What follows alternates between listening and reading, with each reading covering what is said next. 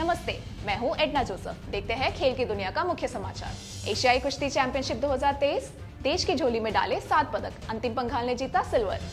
Shooting फिर पुराने format में आईएसएसएफ नया नियम वापस लिए। तीरंदाजी में भारतीय टीम के नए कोच का ऐलान। और अब देखते हैं समाचार विस्तार से।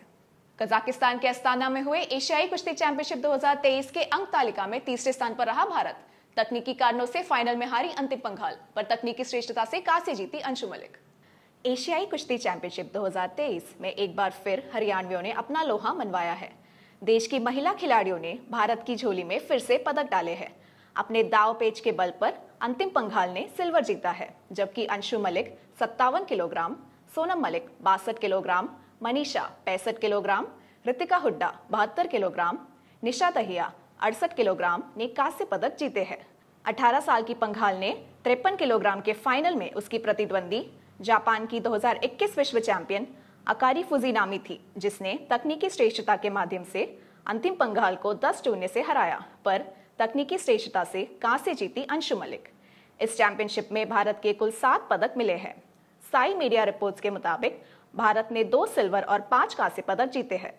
शूटिंग की सबसे बड़ी संस्था इंटरनेशनल शूटिंग स्पोर्ट्स फेडरेशन ने नए नियमों को वापस ले लिया है। अब पेरिस ओलंपिक 2024 पुराने नियमों के तहत खेला जाएगा।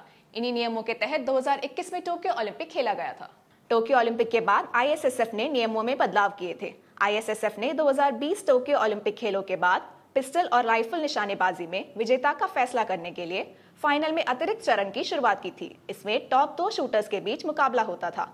ब्रॉन्ज के लिए अलग मुकाबला होता था। बदले हुए नियम 8 से 15 मई के बीच आयोजित होने जा रहे पाकू वर्ल्ड कप से लागू होंगे। भारतीय खेल जगत की तीरंदाजी से जुड़ी एक बड़ी खबर सामने आई है। बेक वोंकी को रिकर्व टीम के लिए हेड कोच नियुक्त किया है। इटली के दो बार के वर्ल्ड कप विजेता सर्जियो पग्नी को भी बड़ी ज़िम्मेदारी दी गई है। भारतीय तीरंदाजी संघ आर्चरी एसोसिएशन ऑफ़ इंडिया ने 2024 पेरिस ओलंपिक खेलों से पहले रिकर्व टीम के लिए ओलंपिक स्वर्ण पदक विजेता बैक वोंग की को मुख्य कोच नियुक्त किया है।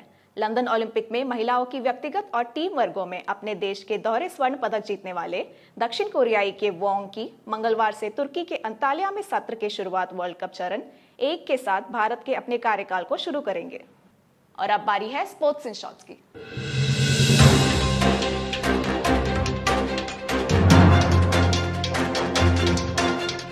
भारत की शैली सिंह ने फोर्थ इंडियन ग्रैंड प्रिक्स में छह दशमलव सात छह मीटर की शानदार छलांग के साथ महिलाओं की लंबी छलांग में स्वर्ण पदक जीती, जिससे एएफआई द्वारा निर्धारित एशियन गेम्स योग्यता प्राप्त की।